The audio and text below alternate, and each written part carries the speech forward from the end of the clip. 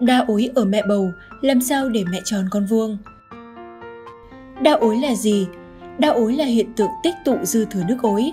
Đa ối gặp trong nhiều bệnh lý khác nhau, có thể nguy hiểm đến tính mạng của cả mẹ và bé.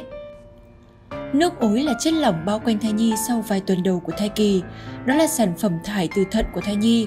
Sau khi đào thải nước ối qua đường nước tiểu, thai nhi tiếp tục nuốt và thải trừ qua đường tiểu, tạo thành một chu kỳ lặp đi lặp lại liên tục.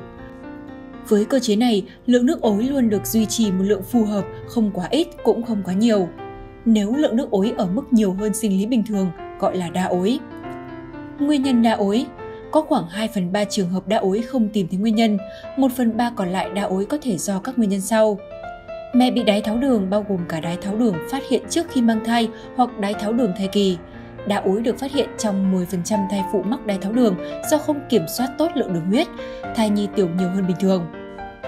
Vì vậy, kiểm soát tốt đường huyết sẽ giúp cho lượng nước ối ở mức sinh lý bình thường. Dị tật thai nhi, hở hàm ếch, hẹp môn vị và các dị tật khác.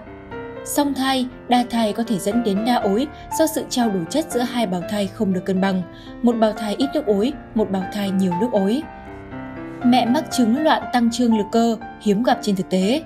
Các nguyên nhân khác như thiếu máu bào thai, nhiễm trùng bào thai, bất thường nhóm máu mẹ con.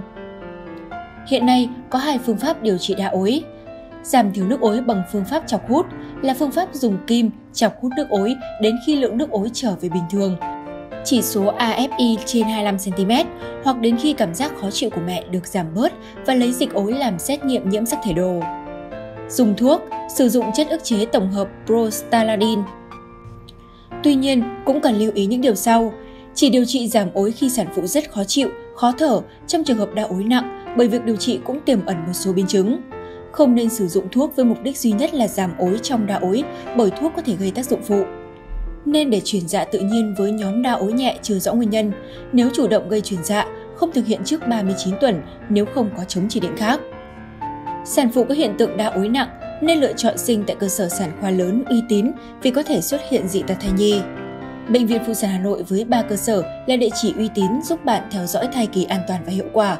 Lựa chọn Bệnh viện Phụ sản Hà Nội là địa chỉ đồng hành cho cuộc vượt cạn, giúp mọi mẹ bầu an tâm đón bé yêu chào đời.